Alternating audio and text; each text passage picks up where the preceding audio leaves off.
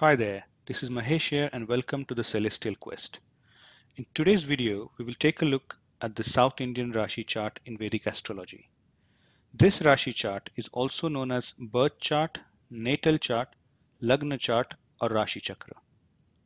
The South Indian chart is also known as Jupiter square chart and is based on the Vastu Purush, where the zodiac signs or Rashis are fixed but the houses move. There are three variations of this chart in Vedic astrology, as I'm showing you on the screen. The one on the left hand side is called the South Indian chart.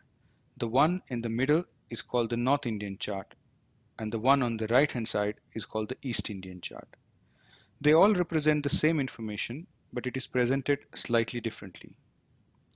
There could be a lot of information in these charts, such as houses, zodiac signs or rashis, ascendant or lagna, and planet or grahas and their degrees, and various other reference points, such as Arudapadas, etc.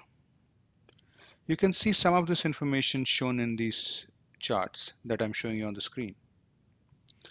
Let's now focus on positions of zodiac signs or rashis in the South Indian chart. What you see on the screen is a South Indian chart.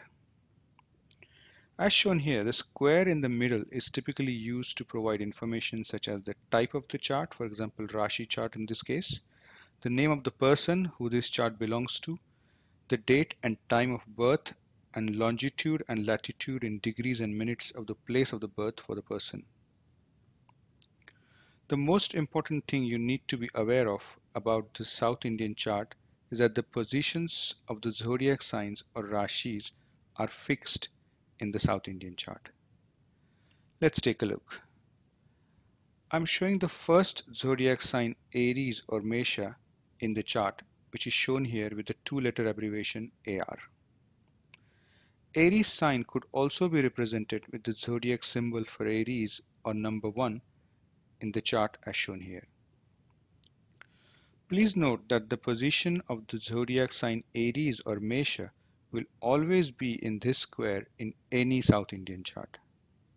As I have explained in my video about zodiac signs or Rashis, the zodiac signs have a fixed order and the zodiac sign Taurus or Rishabha comes after Aries or Mesha in that fixed order. The zodiac signs or Rashis and houses are positioned in the South Indian chart in the clockwise direction. Therefore, moving clockwise in the direction of the arrow, the next sign Taurus or Rishabha, shown by two-letter abbreviation TA, will be in the square next to the square containing Aries or Mesha, as shown on the screen. Taurus sign could also be represented with the zodiac symbol for Taurus or number 2, as shown here. Remember that the position of the zodiac sign Taurus or Rishabha will always be in this square in any South Indian chart. Moving clockwise again in the direction of the arrow, the next zodiac sign Gemini or Mithuna, as shown by two-letter abbreviation GE, will be in the square next to the square containing Taurus or Rishabha, as shown on the screen in any South Indian chart. Likewise, following the clockwise direction, the remaining nine zodiac signs or rashis in fixed order are positioned as shown here. Take a note that these signs or rashis will always be in these, position, these positions in any South Indian chart as positions of signs or rashis are fixed in the South Indian chart. I hope you are now clear about how the zodiac signs or rashis have fixed positions in the South Indian chart. The next thing you need to be aware of about the South Indian chart is that the positions of the houses in the South Indian chart are not fixed. Let's now focus on how to identify houses in the South Indian chart on this next screen. So where is the first house position in this South Indian chart? Since houses are not fixed in the South Indian chart, the first house location is not fixed and the position of the ascendant or lagna tells you the location of the first house. So you need to look for word ascendant, which is typically written in abbreviated form as ASC or word Lagna to figure out the location of the first house in the chart. Now assuming that ascendant or Lagna denoted by words ASC is positioned in the rectangle as shown on your screen, then that becomes the first house in the chart. Once you have established the first house in the chart, it is easy to identify the remaining 12 houses. If you want to know more about ascendant or Lagna, then I have done a separate video on it. Now let's find out where the second house is placed in the chart.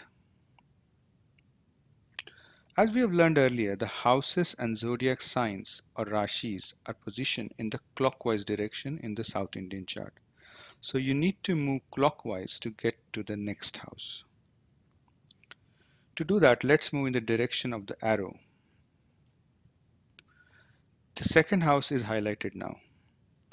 It is the square next to the first house in the clockwise direction. Now let's continue to move in the clockwise direction as shown by the arrow and see where the third house is placed. It is the square next to the second house as highlighted on the screen in the clockwise direction. Remember, the positions of the houses in the South Indian chart are not fixed but depend on the position of the ascendant or lagna which is considered as the first house in the chart and rest of the houses are identified by taking the clockwise route from the first house. Therefore, the second house was identified by moving two places from the first house in the clockwise direction and third house by moving three places, three places in the clockwise direction from the first house.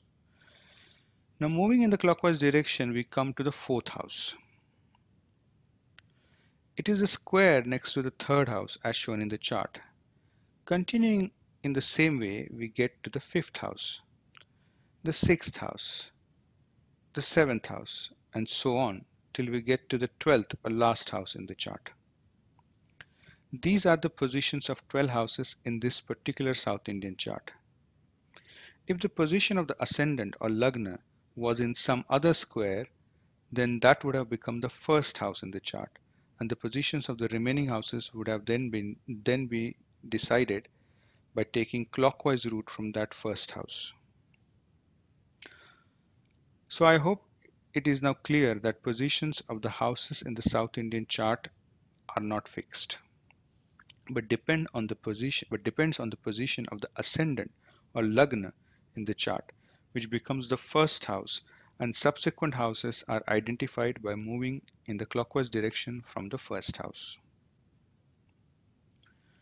Okay, now people always have some confusion when they see numbers written in these houses in the chart.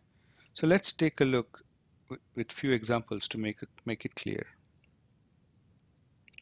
The chart you're seeing on your screen is a South Indian chart for Lord Sri Ram. Let's get rid of planet names from the charts so we only have ascendant and numbers left in the chart. Where is the first house in this chart?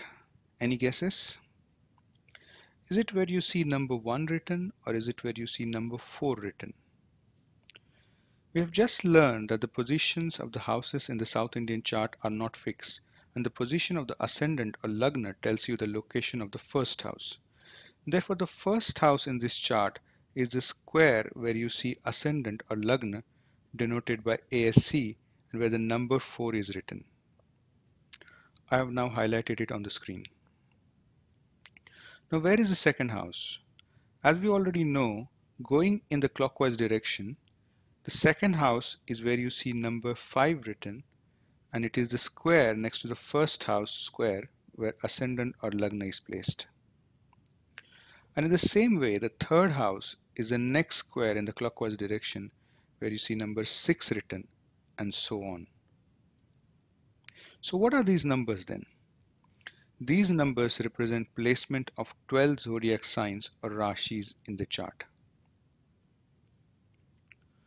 with one representing zodiac sign Aries or Mesha, two representing zodiac sign Taurus or Rishabha, three representing zodiac sign Gemini or Mithuna, and so on, till we reach the number 12 representing zodiac sign Pisces or Meena. The positions of these 12 zodiac signs or rashis are always fixed in the South Indian chart, so they will appear in these positions as you see them here in any South Indian chart. In this chart, the sign of the ascendant is Cancer or Karka, which is represented by number 4. In Vedic astrology, we can also reference the ascendant by its sign, so we can refer to the ascendant in this chart as Cancer ascendant or Karka Lagna. Now look at this chart of some other person. Again, let's get rid of planet names from the chart so that we only have ascendant and numbers left in the chart. Where is the first house in this chart? In this case, is it where you see number 4 written like the previous chart or is it where you see number 1 written? Since the position of the ascendant or lagna tells you the location of the first house in the South Indian chart, the first house in this chart is the square where you see ascendant is placed denoted by ASC and where number 1 is written. I've highlighted it on the screen now.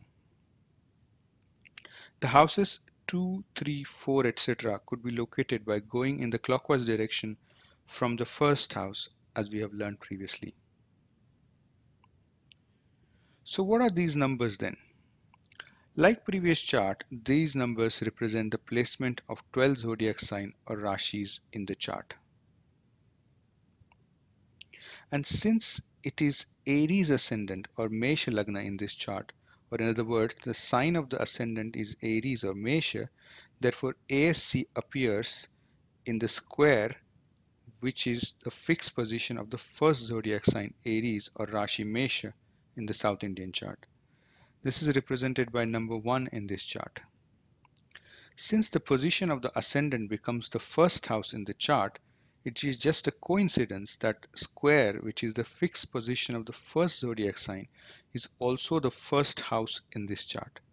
Similarly, the square, which is the fixed position of the second zodiac sign, is the second house in this chart, and so on.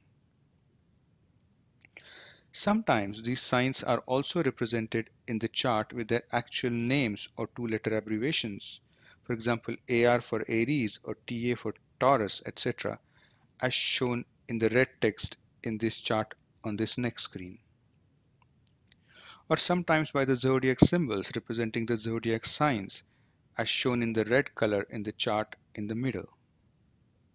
But since the positions of the zodiac signs or rashis are fixed in the South Indian chart and houses starting from the first house could be identified with reference to the position of the ascendant or lagna in the chart, Typically, you will find that the South Indian chart only contains ascendants and planets or graha names as shown in the rightmost chart on this screen. I hope this was useful. That's all from me for today. See you soon in my next video and thank you for watching.